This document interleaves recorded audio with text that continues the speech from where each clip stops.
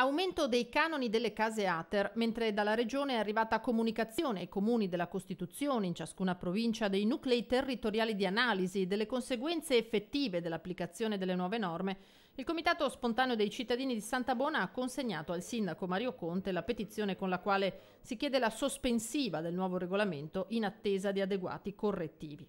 Circa 250 firme di persone che hanno sottoscritto questa richiesta di sospensiva e successiva modifica del regolamento eh, regionale eh, che tenga conto di particolari punti, per esempio lo scorporo dal, dal, dal, dal reddito ISE di quelle che sono le entrate derivanti dal TFR o da pensioni di invalidità civile o da risarcimenti assicurativi, pensioni sociali e, e quant'altro. Insieme all'ex consigliere comunale Renosto anche inquilini che vivono il problema sulla propria pelle, come Roberto Speciali che si è visto più che raddoppiare l'affitto perché in banca ha 48.000 euro frutto di TFR, risparmi e una piccola eredità.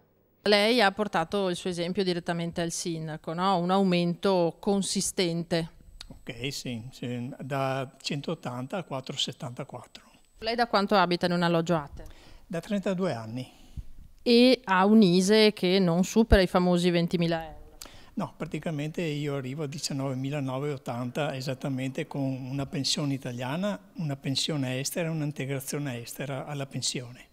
Particolari cautele il Comitato le chiede per gli over 75 perché eh, nel momento in cui si spostano le persone da una casa dove hanno passato un'intera vita e quindi in quel, in, dentro a quelle mura ci sono particolari ricordi legati al marito, al figlio, eccetera, eh, diciamo, lo spostamento può creare dei disagi, delle patologie anche in queste persone, soprattutto anziani, che possono avere anche degli esiti infausti in breve termine, quindi possono cadere in depressione. Quindi particolare attenzione soprattutto agli anziani che sono per noi le fasce più deboli.